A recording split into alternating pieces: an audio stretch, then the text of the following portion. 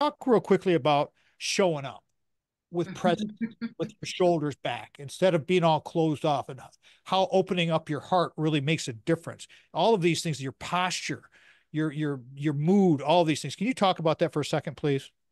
Well, I I definitely it's really interesting. I love this. I just had a conversation the other day with somebody about confidence.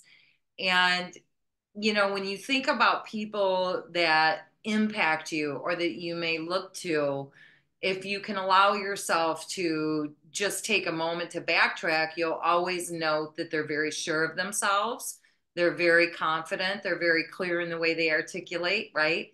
Um, and so I think that when you're talking about embodying presence and embodying confidence, it it's walking in and knowing who you are and allowing the essence of who you are to speak for you. And i think it's a very energetic part of a conversation that's happening that many people may not be aware of. I think we're starting to hear more about this word energy and the way that energy is communicating and the way that we share energy. But i think that walking in and feeling good about yourself feeling strong feeling the blood flowing through your through your veins you know feeling your brain popping is like i'm here i'm present i'm i'm ready to share i'm ready to connect i'm ready to respond i'm ready to act right? There's no there's no space of reaction or being in defensiveness. It's i'm here this is who i am and i'm coming with grace and i'm coming with confidence. What's up so we've got a minute and a half to go before we go to break and the rest of the show is going to be focused on this. We've talked about doing this several times. Now we do it. What do you think? Set it up please well, I will set up just reacting to responding to what you said about the text today.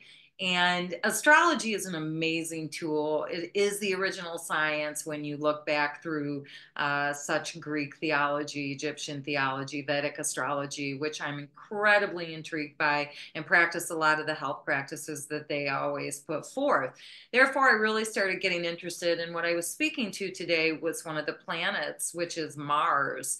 And Mars is conjoining, which means connecting with Jupiter in the sky today. And Jupiter is like this grandpa Santa Claus happy energy. Mars is aggression, war, right? Like our, our initiative, our drive.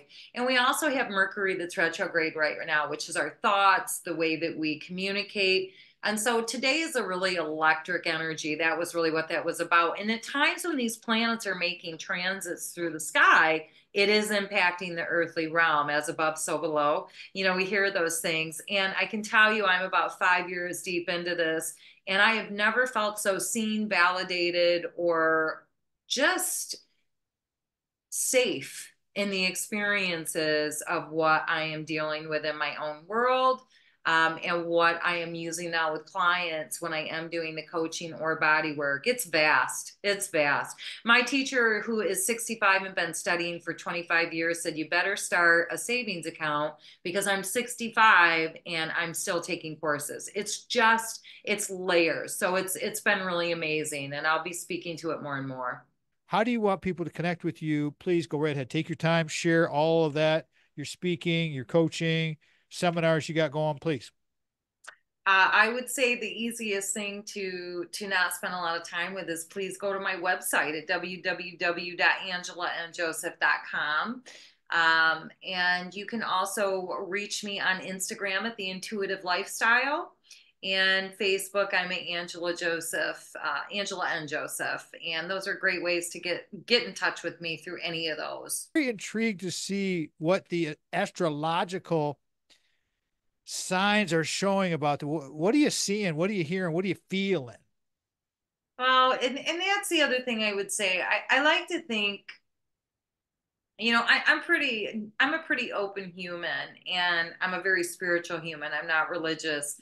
But when you look at a birth chart or you look at a chart tom it's almost like a mandala and you can really start to just like meditate and let it come to you when I talk about a shadow over our culture without astrology involved at all, it's very clear to me that we're being manipulated by media. We're being manipulated by groups that have uh, profit, profits and agendas that they can can profit from for us.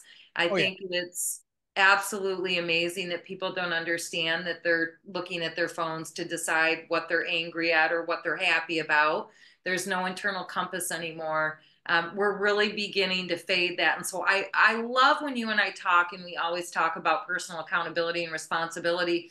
Many people will think that I come off a little bit cocky or dry, but yeah. it's honestly just, it's a fundamental truth for me, which has been a North Star for my life that if I'm not in control of my life, somebody else is. And I'm not willing to do that. It's too high of an expense for me. So when you bring the astrology and you map over what I think is happening in our media world right now, where we're being, I mean, you you don't know what's real or not anymore. I mean, we can all say this. There's times we're like going, "What in the heck is real? What do I believe? What is this? Right? Why is that?" And and it seems like there's this this undertone right now of divisive, angry tone when you're talking about anything right now in our in our world. You know, any media is all about who's right, who's wrong. And it's really incredibly sad when you can step back from it and see. So for me, that's a shadow. When you have a culture that's sitting in hate and division and blame and anger and frustration and ill health, right? We're, we're not doing well you know we're aiding to the mental health issue we're aiding to the physical declining health issues. And what astrology shows with that is we have a planet called neptune which is out beyond um, what we can actually see with our physical eye in the sky. It's been in pisces and we're at the 29th degree which is considered a critical degree. And it makes it very hard for people to see what's real and what's not. And we've got Saturn in the same house with Pisces. And so Saturn's coming in, and, and I would say over the next um, six months to a year, we're going to really have some reality checks and really see what is real and not. So when I talk about a shadow over our culture, we've really lost our way and our internal dialogue at this point is no longer ours and it's one thing i'm doing with constant i mean clients constantly is allowing them to tune into their own internal guide, right? What is it that feels right for them? What is it that they want to do? And most often, what you'll find is they come back and go, Oh my gosh, you know, like I feel so free right now. I don't have any anger. I don't have any frustration. Um, and so, again, the shadow over our culture right now is all of the anger and the blame and the frustration and the manipulation happening in the media. Oh, for sure. I mean, the whole thing is about finding balance and understanding that if you get your source of your information from one place, then you're going to get a very biased pile of information. And I'm, I'm, I'm going to say one thing there too. I'm going to add on that, Tom. Is that over the next five years, what we're going to see is, and, and, and longer and further into that, but we have AI coming on board and it's getting ready to come on on steroids right? An illegal amount of steroids like we have never seen. AI is coming in. We no longer know. We are not going to know without a doubt what is real and what is not if we are looking at a screen to find our information. So it's, I, would tell you that what we're coming into right now, and I'm really big on this, and I think this is going to become a big part of my work, is we're going to go back to that conversation about your internal compass and your intuition and my favorite saying, which was over the Oracle of Delphi know thyself. Because if you don't know yourself over this next decade, you are going to get lost in the sauce of AI. That's what I say. It's it's a it's a fundamental for me. That's why it's so important to take care of your physical body so that you can feel, so that you can maneuver, so that you can act. It's why it's so important to be reading good powerful, empowering information. It's important to be around people who are supportive and loving and engaging in health promoting and happiness and just, you know, like you said, the balance. So that as this world begins to kind of go a little flux here, we're good. That's the thing. The world always goes into a flux. Yes. It just depends on how we deal with this. Again, yeah. as we talked about earlier, we have to choose which steps, which things we're going to read, which news you're going to watch, which how are you going to receive your information? Are you going to make your phone your your other your your decision maker for you? Yeah. Or are you going to have balance and are you going to have discerning thought or multiple sources of information? That's the whole thing about being educated, reading books. Think about reading books. Reading books it's, it's proven, Angela, you know this. You're such a huge reader and you're a great writer.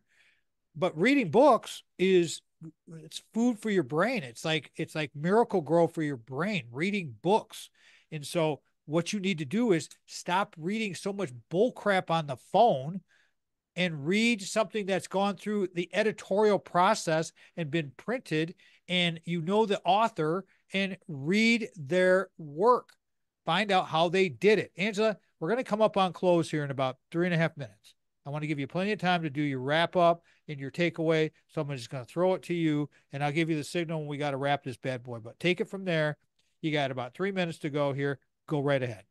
I'm even going to add on to what you just said as far as knowing who the author is. And even when you're reading or listening to a book on tape, still allow yourself to make your final decision about what is right for you and the way that action for yourself feels like integrity, right? Dignity, right? Yep. And that yep. you are out here being the type of human that you want to see other humans be. Too many people right now are in groupthink. There is massive, massive just compartmentalization of certain beliefs right now. And in reality, our whole world, and, and I hope everybody hears me when I say this. Everything that you are experiencing in your life today your your thoughts and reactions and feelings to it are all about the beliefs and thoughts you have adopted as truth. And every one of us humans is very unique in that way. It's the beauty of being a human. And being a human we are a mind we are a body and we are a soul. And the soul is the essence and energy that is operating the body and keeping the brain going. And you have to master the body and the brain to be living in your absolute, what you want to call like your top you know the the the height of your experience of you being here on earth right now right?